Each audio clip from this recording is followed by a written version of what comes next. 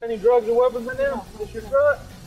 Dad, doing drugs it right now? Though she was 100% innocent, she was convicted, and due to the weight of the illicit substance, she was sentenced to eight years in prison. Yolanda's father had overwhelming evidence that the substances used to convict her were planted by a confidential informant who had accidentally hit the wrong target. Barry decided to take action to catch the officers by setting up a fake grow house in the district to trigger an illegal raid by the Odessa Police Department. We used to do it when I worked for them. If we couldn't get the evidence we needed and we wanted to raid the house, we lied and said an informant went in there. And it didn't take long for the Odessa Police Department to arrive at the location as planned. The information obtained by this operation was used to prove that the Odessa Police Department lied on affidavits used to obtain search warrants and eventually freed Yolanda Madden